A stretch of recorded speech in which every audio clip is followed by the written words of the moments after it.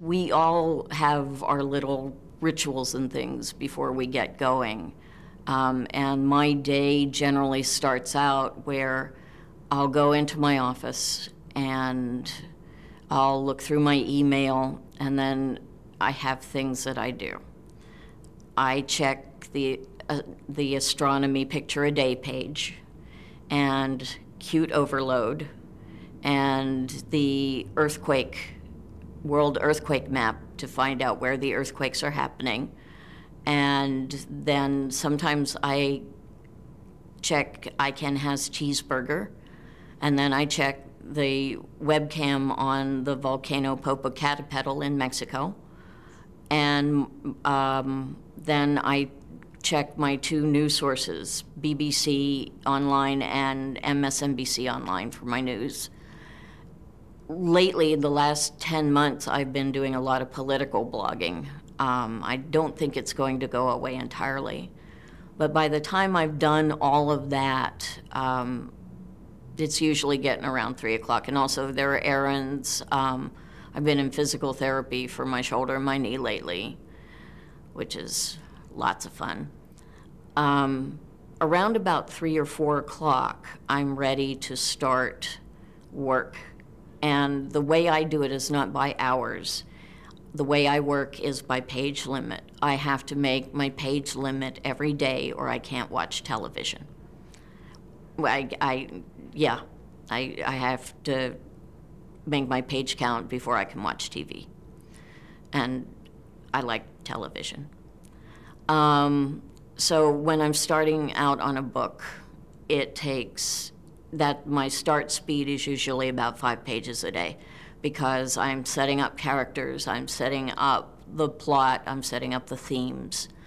And then as I get going, I'm up to six or seven pages. And this is the speed I'm at now um, after more than 25, well, yeah, after something like 30 years of writing as a published adult. Um, I, in the beginning, I was happy if I could do one or two pages a day, but I've been at this a long time, and usually I've been thinking about a book for a long time before I sit down to write it. So that's why I can do so much at, uh, at any one date. Um, in the middle, I'm going to six or seven pages a day. And by the time I hit what the people in the radio company I helped to start in the 80s used to call the Pierce Juggernaut, which is I get everything all lined up in a row. And all the little climaxes have happened, and now there's this huge juggernaut of plot teetering on the edge, and all I have to do is stand aside and let it drop and it goes barreling down on the characters. And there's the earthquake and the forest fire and the war, and the ground opens up and the palace collapses inside, and the rats reign supreme over all. Then I'm doing 14 to 20 pages a day. And I'm just sitting there typing madly, cackling like a fiend, and saying, Good stuff, good stuff.